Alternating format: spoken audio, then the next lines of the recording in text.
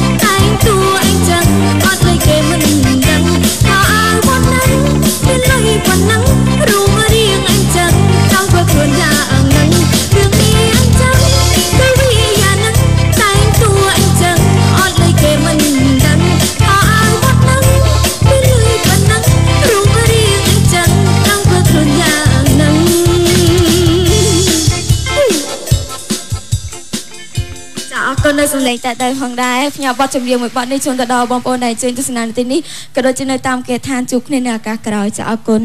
ចាអគុណច្រើនចំពោះកញ្ញាធិរិកានៅពេលនេះពីកម្មវិធីតន្ត្រីខារ៉ាវ៉ាន់ញ៉ាំសម្រាប់មួយផ្លែតសិន thank you